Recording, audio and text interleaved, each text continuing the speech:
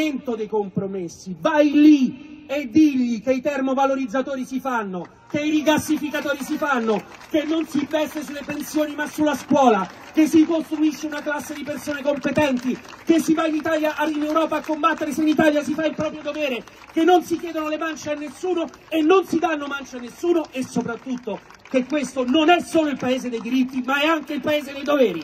Vai e diglielo in faccia! perché il paese sarà con te. Vai e diglielo in faccia che noi siamo atlantisti e europeisti. Non c'è margine per putinisti di complemento in questo paese.